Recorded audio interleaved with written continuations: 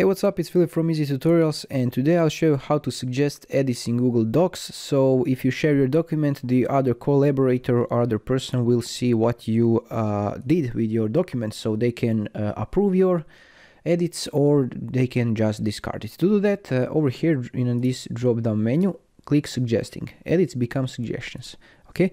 And now if I for example want to delete this uh, paragraph I will click delete. And it won't delete but it will suggest a delete deletion deletion. Okay.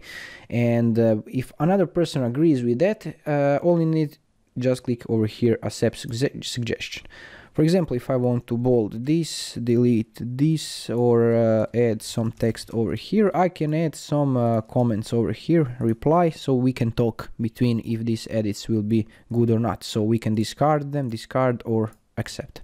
And this is it. If you find this helpful, let me know in the comments below. Thanks for watching. Have a nice day. Bye bye.